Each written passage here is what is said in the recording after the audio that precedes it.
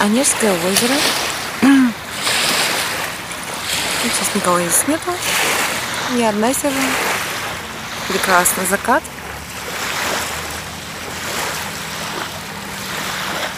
Вот.